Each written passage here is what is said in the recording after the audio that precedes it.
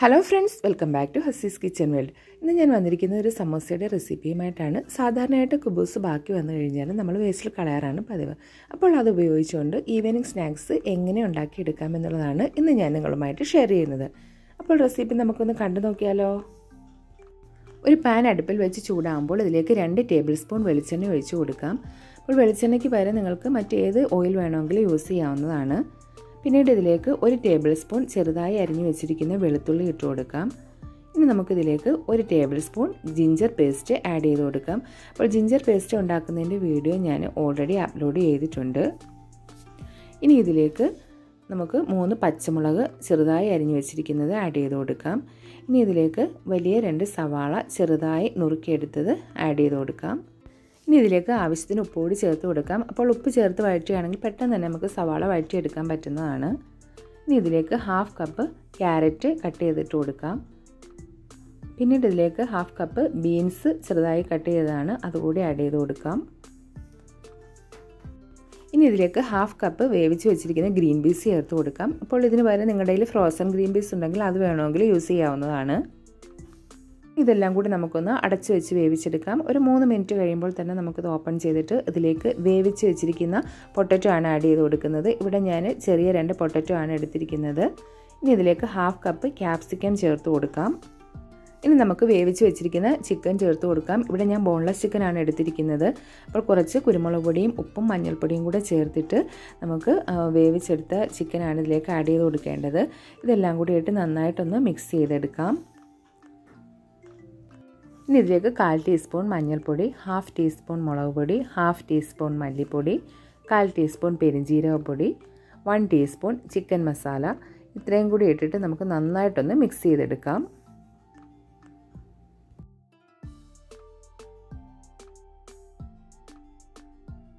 ഇനി ഇതിലേക്ക് ഞാൻ ഒരു മാഗിയുടെ ക്യൂബ് ഇട്ട് കൊടുക്കുന്നുണ്ട്. അപ്പോൾ നിങ്ങളുടെ കയ്യിൽ ഉണ്ടെങ്കിൽ മാത്രം ഇട്ട് കൊടുത്താൽ മതി.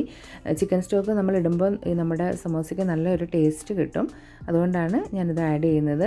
ഇല്ലാന്നുണ്ടെങ്കിൽ സാരമില്ല. ഇത് നിങ്ങൾക്ക് സ്കിപ്പ് ചെയ്യാവുന്നതാണ്. ഇനി ഇതിലേക്ക് നമ്മുടെ മെയിൻ താരമായ കുബൂസ് ഇട്ട് കൊടുക്കാം. അപ്പോൾ കുബൂസ് മിക്സിയിലിട്ടൊന്ന് ക്രഷ് ചെയ്തെടുത്തതാണ്.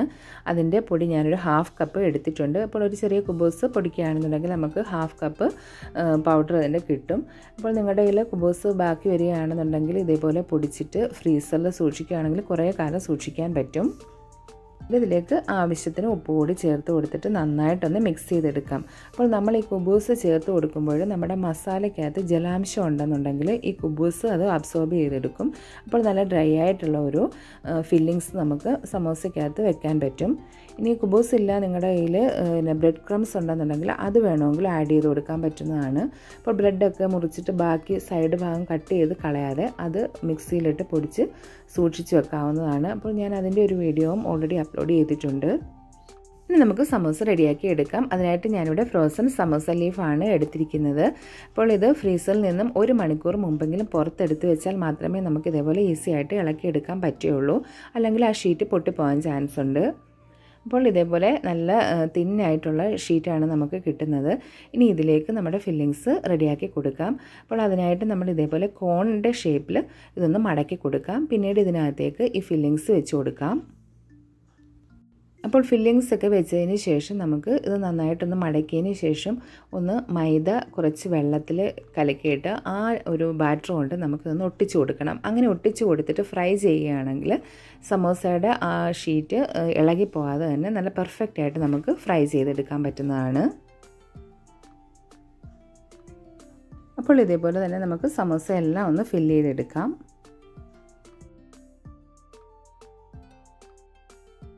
ഇനി കയ്യിൽ വെച്ചുകൊണ്ട് തന്നെ നിങ്ങൾക്ക് ഇത് കോൺ ഷേപ്പ് ഉണ്ടാക്കിയെടുക്കാൻ പറ്റുന്നില്ല എന്നുണ്ടെങ്കിൽ ഈ ഒരു മെത്തേഡ് നിങ്ങൾക്ക് ട്രൈ ചെയ്യാവുന്നതാണ്. നമ്മൾ ആ ഷീറ്റ് നിവർത്തി വെച്ചിട്ട് അതിങ്ങനെ ഒന്ന് ഫോൾഡ് ചെയ്ത് കൊടുക്കുക. പിന്നീട് നമുക്ക് ഇതേപോലെ മടക്കി എടുത്തിട്ട് ഇതിലേക്ക് ഫില്ലിങ്സ് വെച്ച് കൊടുക്കാവുന്നതാണ്.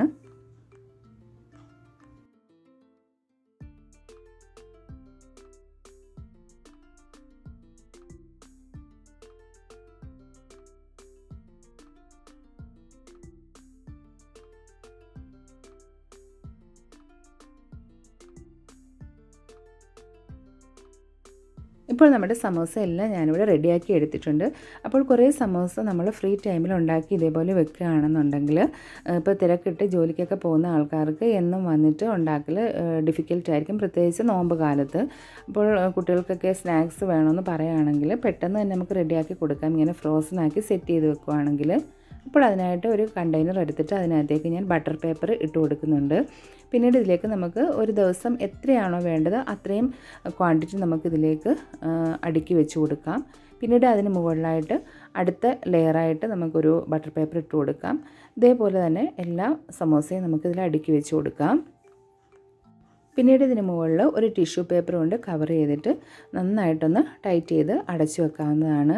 അപ്പോൾ നമ്മൾ ഫ്രൈ ചെയ്യുന്നതിന് ഒരു മണിക്കൂർ മുമ്പ് പുറത്തെടുത്ത് വെച്ചിട്ട് ആ തണുപ്പ് വിട്ട ശേഷം ഫ്രൈ ചെയ്തെടുത്ത് നല്ല ക്രിസ്പി ആയിട്ടുള്ള സമോസ നമുക്ക് റെഡിയാക്കി എടുക്കാവുന്നതാണ്. അപ്പോൾ തിരക്കിട്ട് ജോലിക്കൊക്കെ പോകുന്ന ആൾക്കാർക്ക് ഇതേപോലെ ചെയ്ത് വെക്കുകയാണെന്നുണ്ടെങ്കിൽ സമയമൊക്കെ ലാഭിക്കാൻ നല്ലൊരു ടിപ്പാണിത്. ഇതേപോലെ തന്നെ ഞാൻ ഫ്രോസൺ കട്ട്ലറ്റ് റെഡിയാക്കി വെച്ചിട്ടുണ്ട്. അപ്പോൾ ഇവിടെ ബ്രെഡ് ക്രംസിന് പകരം ഞാൻ കുബൂസ് പൊടിച്ചിട്ട് അതാണ് കട്ട്ലറ്റിന് കവർ ചെയ്തെടുത്തിരിക്കുന്നത്. ഈ കുബൂസ് കൊണ്ട് നമ്മൾ ക്രംസ് ഉണ്ടാക്കി എടുക്കുകയാണെന്നുണ്ടെങ്കിൽ അധികം ഓയിൽ കുടിക്കാതെയുള്ള നല്ല പെർഫെക്റ്റ് ആയിട്ടുള്ള കട്ട്ലറ്റ് നമുക്ക് ഉണ്ടാക്കി എടുക്കാവുന്നതാണ്. ഇനി നമുക്ക് നമ്മുടെ സമോസ ഒന്ന് ഫ്രൈ ചെയ്തെടുക്കാം. അതിനായിട്ടൊരു പാൻ അടുപ്പിൽ വെച്ച് ചൂടാകുമ്പോൾ അതിലേക്ക് ആവശ്യത്തിന് ഓയിൽ ഒഴിച്ചു കൊടുക്കാം. ഓയിലൊന്ന് നന്നായിട്ട് ചൂടായി കഴിയുമ്പോൾ ഇതിനകത്തേക്ക് നമ്മൾ റെഡിയാക്കി വെച്ചിരിക്കുന്ന സമോസ ഇട്ട് കൊടുക്കാം. അപ്പോൾ ഇതേപോലെ കുഴിയുള്ള പാത്രം എടുക്കുകയാണെന്നുണ്ടെങ്കിൽ നമുക്കധികം എണ്ണ വേസ്റ്റ് ആകാതെ നമ്മുടെ സമോസ ഫ്രൈ ചെയ്തെടുക്കാവുന്നതാണ്. അപ്പോൾ ഇതേപോലെ ഒരു ഗോൾഡൻ ബ്രൗൺ നിറമാകുമ്പോൾ നമുക്ക് എണ്ണയിൽ നിന്നും ഇത് കോരി മാറ്റാം.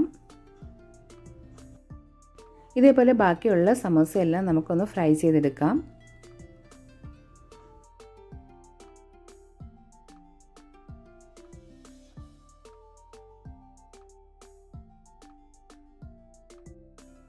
ഇപ്പോൾ നമ്മുടെ സമോസയെല്ലാം ഞാൻ ഫ്രൈ ചെയ്തെടുത്തിട്ടുണ്ട്. ഇനി ഇതിലേക്ക് ഞാൻ സ്പ്രിംഗ് റോളാണ് ഫ്രൈ ചെയ്തെടുക്കുന്നത്.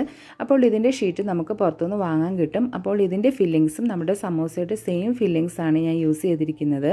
അപ്പോൾ നമ്മുടെ ബാക്കി വന്ന കുബൂസ് കൊണ്ട് ഇതുപോലെയുള്ള ഡിഫറെന്റ് ഡിഫറെന്റ് സ്നാക്സ് നമുക്ക് ഉണ്ടാക്കിയെടുക്കാൻ പറ്റുന്നതാണ്.